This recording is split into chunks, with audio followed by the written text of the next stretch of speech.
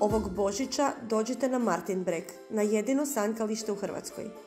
Radnim danom besplatno za vas od 16 do 21 sat, vikendom od 14 do 21.